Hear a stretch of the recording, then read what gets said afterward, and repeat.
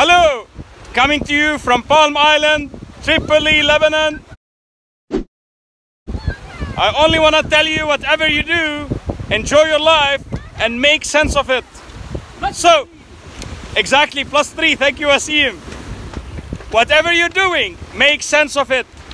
If you are today on the beach, in an island as nice as this, enjoy it to the max. If you're not, if you're at work, if you're in the office, make the best of that. Work hard, work hard enough, so that you can enjoy another day well enough. Make your day a great day and, as Wasim said, plus three. Have fun.